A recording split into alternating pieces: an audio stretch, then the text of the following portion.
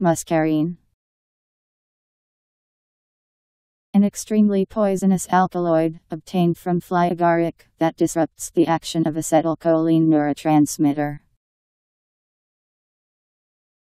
M U S C A R I N E Muscarine